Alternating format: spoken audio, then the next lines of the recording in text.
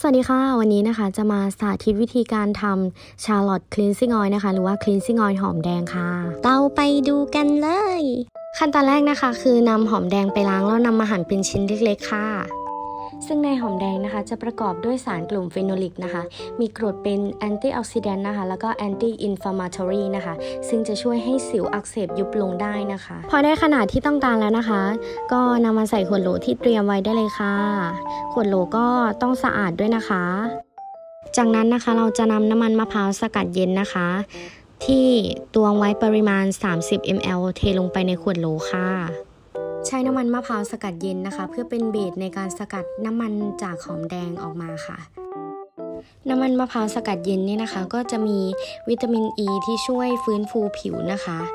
แล้วก็ต่อต้านอนุมูลอิสระได้ดีด้วยค่ะ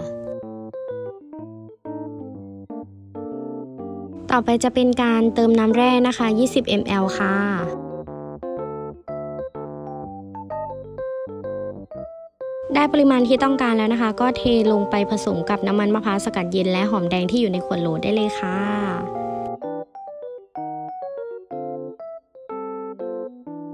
เสร็จแล้วนะคะก็ปิดฝานะคะ แล้วก็นำไปต้มได้เลยจ้า โดยที่เราจะต้มทิ้งไว้นะคะ 1 ชั่วโมงค่ะ จับเวลานะคะ แล้วก็ใส่ตอนที่น้ำเดือดนะคะ เดือดปุดปุดปุดปุดแบบนี้นะคะ พอถึงเวลาครบนะคะก็นำมาพักทิ้งไว้ให้เย็นนะคะ แล้วก็มาคนคนก่อนที่จะเอามาคั้นนะคะ เพื่อให้ส่วนผสมเข้ากันจ้า จากนั้นนะคะก็นำผ้าขาวนะคะ มากรองเพื่อคั้นนะคะ เพื่อที่ไม่ให้เศษของหอมแดงตกลงไปนะคะ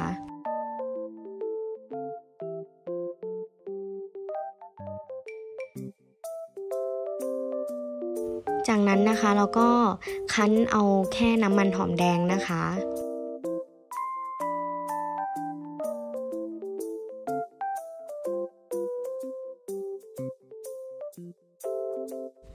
ต่อไปนะคะเราก็จะเพิ่มสบู่เหลวสูตรอ่อนโยนนะคะ ปริมาณ 20 ml ค่ะ เพิ่มลงไปผสมกับน้ำมันหอมแดงนะคะที่คั้นออกมาแล้วนะคะ จากนั้นก็คนให้เข้ากันนะคะ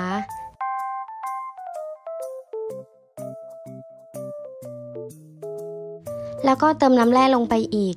100 ml ค่ะ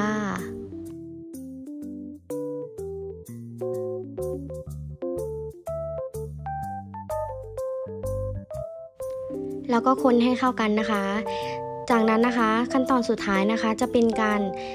เทใส่ขวดที่เตรียมไว้เลยนะคะ อันนี้จะเป็นขวด200 ml นะคะ พอเสร็จแล้วนะคะก็สามารถนำไปใช้ได้เลยค่ะ ขั้นตอนง่าย ๆนะคะ ก็ได้เป็น cleansing oil หอมแดงนะคะ ที่สามารถช่วยลดสิวนะคะ แล้วก็ฟื้นฟูผิวได้ด้วยค่ะ เป็นทั้ง cleansing แล้วก็บำรุงไปในตัวเลยนะคะ